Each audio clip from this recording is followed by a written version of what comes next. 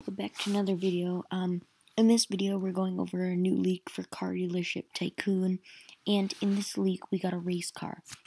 Um, that's why I'm driving this Porsche. That if you didn't know, this was a barn hunt last year, so you can't get this extremely detailed car. But we're not talking about this today. We're talking about some type of Brabus race car. I believe. Um, I'll look at the name. It might be where I'm gonna show you guys it. But um yeah, Brabus race car. I'm gonna show you the leak and then I'll give you my suggestions about it.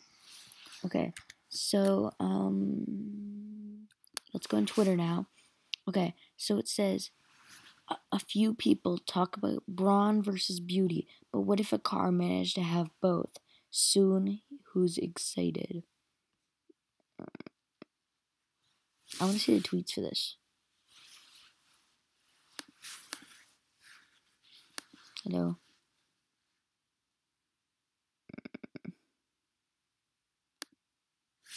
Hello. Oh.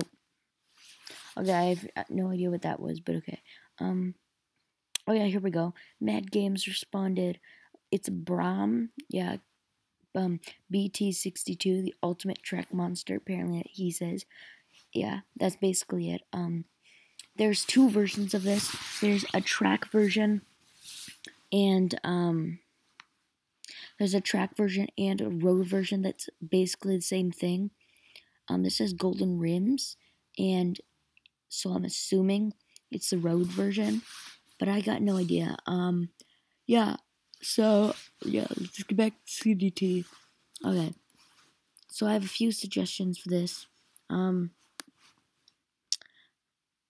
my first one being this could be season five.